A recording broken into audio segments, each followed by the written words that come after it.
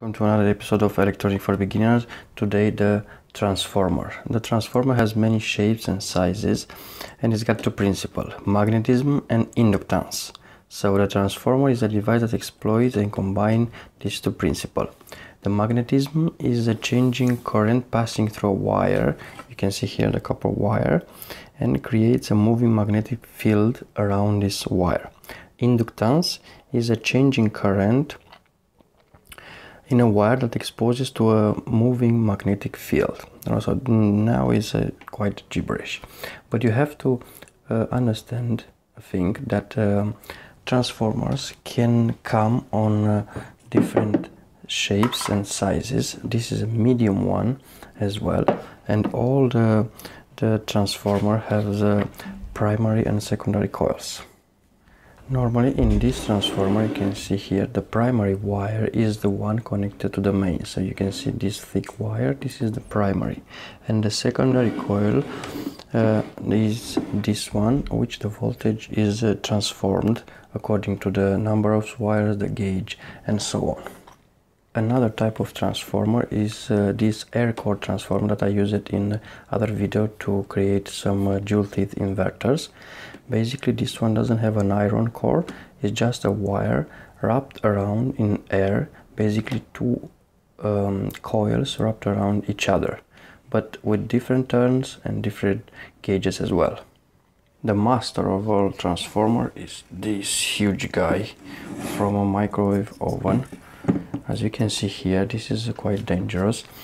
Is the input here 230 volts uh, 50 hertz class 220 i don't know what that means.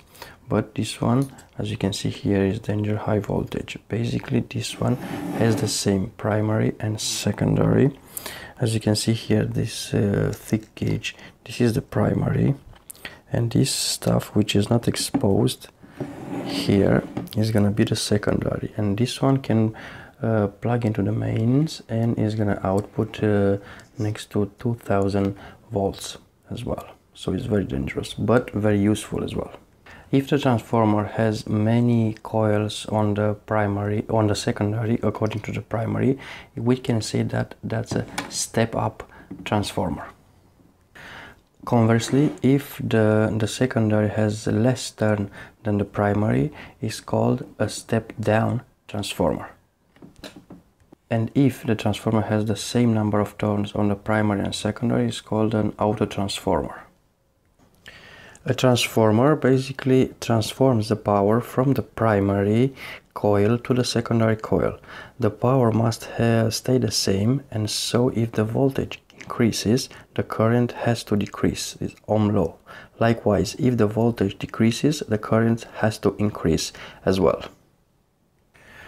On the other side you know if we're gonna reverse the principle of a transformer basically this is connecting to mains. This is the output yeah? A normal how is um, work how it works this transformer. But if we're gonna reverse it like so and we're gonna apply some kind of movement an electron here? Or with a frequency counter we're gonna exceed the same amount of power as it was being plugged into the main.